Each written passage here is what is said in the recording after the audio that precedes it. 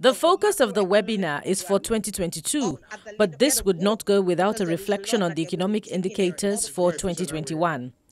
The economic expert took time to provide a breakdown of the figures in key areas.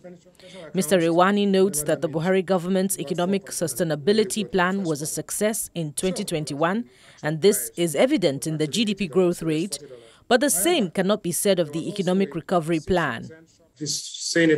That's not all. He also speaks on the possibilities that could arise from the planned fuel subsidy. What's the inflation rate in Ghana? What's the inflation rate in Benin? What's the inflation rate in Togo?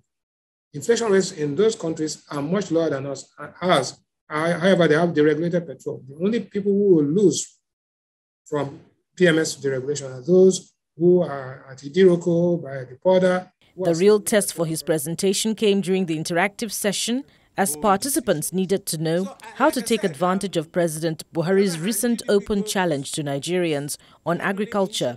Every megawatt of power produced in the country, the first place it goes to goes to Mali, because the Fouta Djallon Mountains, where the Niger River starts from, is there. If they dam that river, then we are done. So that's why Doyin Salami said that from the reports that we have. And the president held on to it, and the president has kept on saying it. Uh, but words are, words are not enough. A panelist's review followed Mr. Rewane's presentation, during which some of his points were interrogated.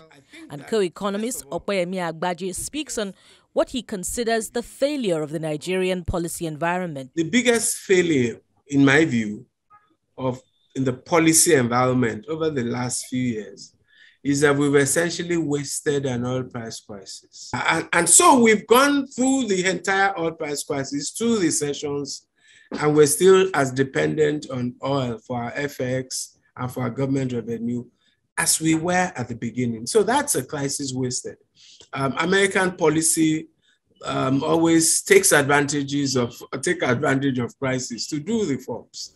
In spite of predictions that inflation will remain structurally high in 2022 and a projected growth rate of 4.70 and 1.6 percent for the manufacturing and agriculture sectors, respectively. It appears experts have a fair economic forecast for Nigeria in 2022.